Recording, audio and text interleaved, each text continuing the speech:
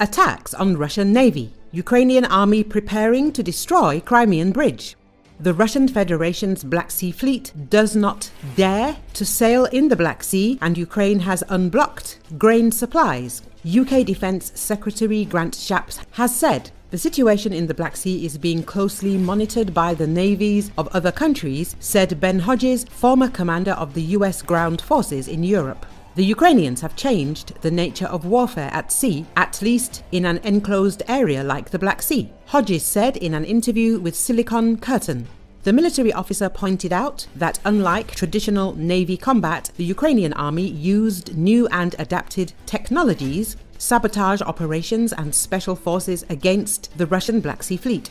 The success of the Ukrainian army also points to the lack of readiness and capabilities of the Russian Navy, and according to Hodges, it proved to be no better than the Russian ground forces in the early days of this conflict. Hodges pointed out an important detail. The Ukrainian army is already hitting large logistics ships that the Russians could use for shipping in the Sea of Azov if the Kerch Bridge is destroyed, and also the dry dock near occupied Sevastopol where the Russians could repair ships. According to Hodges, the retreat of the Russian Black Sea Fleet gives reason to doubt Putin's intention to use nuclear weapons in the event of the loss of annexed Crimea. Russian forces are no longer using the Crimean Bridge, a key supply route to replenish Moscow's stocks of weapons and ammunition in the annexed peninsula and southern Ukraine, according to Kiev. Ukrainian strikes on the 12 mile long bridge has disrupted the flow of weapons for Russia's military, but Moscow will likely attempt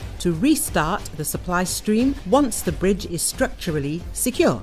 Vasyl Malyuk, the head of Ukraine's security service, told. Russia announced that NATO sends military contingent to Armenia and issued stern warning to Yerevan.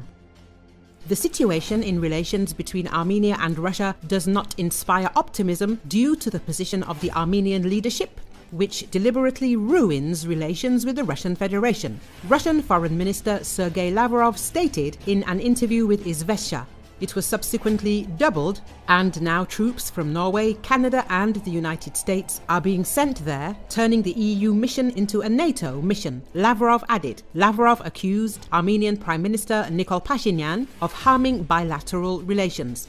I also spoke with Prime Minister Nikol Pashinyan when I visited Yerevan for various meetings. It seemed to me that he still understands the benefits of continuing alliance relations with Russia and cooperation within the framework of the Collective Security Treaty Organization and the Eurasian Economic Union.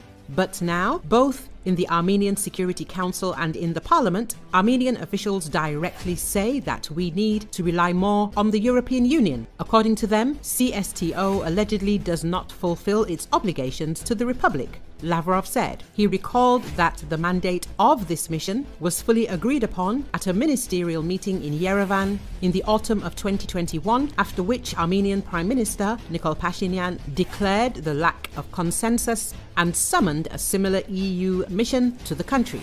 Russian Foreign Ministry spokesperson Maria Zakharova emphasized that Armenia is gradually turning before the eyes of the world into an instrument for the implementation of extremely dangerous plans of the collective West, which are completely at odds with the fundamental interests of the Armenian people. According to her, the meeting scheduled for April the 5th in the Armenia US EU format caused concern in Moscow because they are exclusively anti Russian such meetings cause concern among most countries in the region because they are aimed not at achieving peace between Azerbaijan and Armenia, but at further introducing the West with its extremely destructive approaches into the South Caucasus, creating new dividing lines there forcing the countries of the region to follow the anti Russian agenda, destruction of their centuries old ties with Moscow, weakening the existing mechanisms of regional security and economic cooperation, notes Zakharova.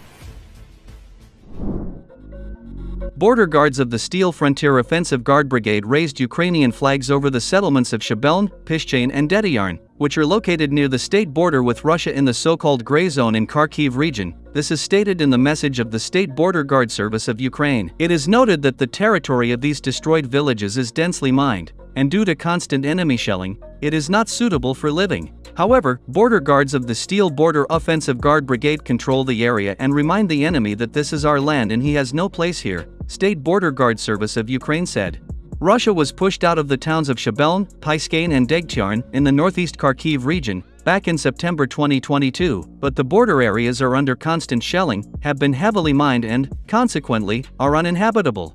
Given their locations, they are de facto frontline towns. Border guards of the Steel Border Offensive Guard Brigade control the area, said the State Border Service on Telegram. We remind the enemy that this is our land and he has no place here, State Border Guard Service of Ukraine said.